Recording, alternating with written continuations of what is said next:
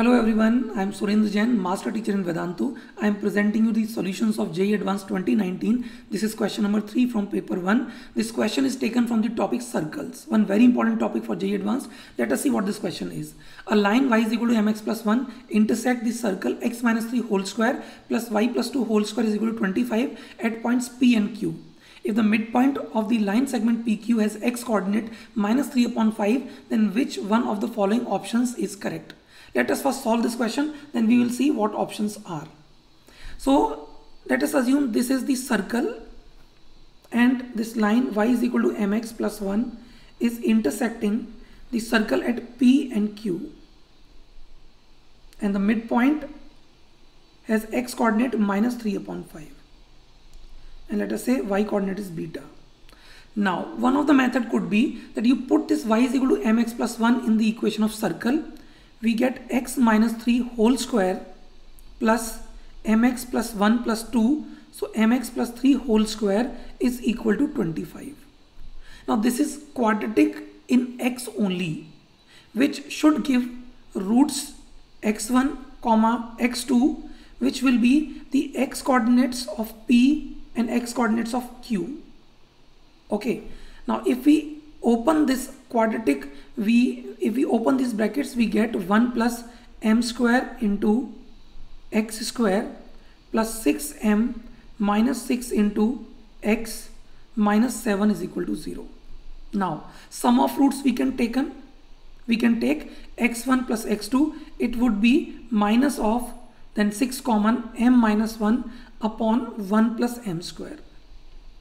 Now this x1 plus x2 can also be obtained by taking midpoint formula by using midpoint formula for x coordinates of p, q and their midpoints. So x1 plus x2 upon 2 should be equal to minus 3 upon 5.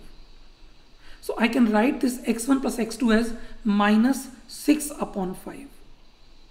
Now minus 6 will get cancelled and we get but after cross multiplication 5m minus 5 is equal to 1 plus m square or m square minus 5m plus 6 is equal to 0.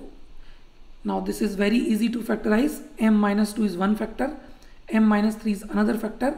So the answer for this question is m is equal to either 2 or equal to 3. Okay, let us see what are the options. So m is equal to 2 or 3. I think only correct option is B. A is wrong, C is wrong, D is wrong, B is correct. So only correct option is B. So that is one method. I will tell you one more method for this question. Suppose this is midpoint minus 3 upon 5 comma beta. So if you join this midpoint to the center of the circle which is 3 comma minus 2 they should meet at 90 degree. Okay already we know the slope of this given line which is m. Okay let us call this midpoint as d and this center as c. So the slope of line joining CD can also be found by y2 minus y1 upon x2 minus x1. So it would be beta minus minus plus 2 upon minus 3 upon 5 minus 3. Here beta is because this equation of line is y is equal to mx plus 1 and we know the x coordinate it would be minus 3 upon 5 into uh,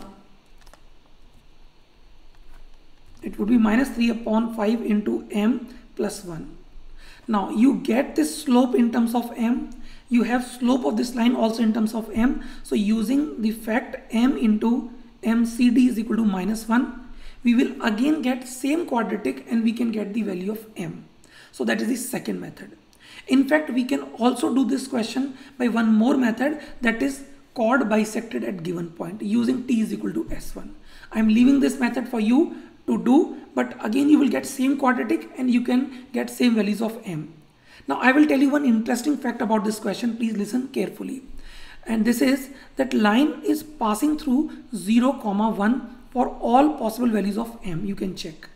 Now if I put 0 comma 1 in the equation of this circle you can check the value of s1 corresponding to this point 0 comma 1 comes out to be minus 7 which is negative which means this point should lie inside the circle somewhere here which means I choose any value of m, this line passing through 0 comma 1 is going to intersect the circle at two real points always. So we don't have to bother about whether my answer of m will actually give us real points p and q or not. Why I am telling you this thing, please listen carefully. Suppose in this question, this point was lying outside. And some line were not cutting or touching this circle. In that case your roots x1 and x2 will be imaginary. But their sum can still be real. So if you go by this method even without knowing whether roots are real or not we may get m is equal to 2 or 3 okay.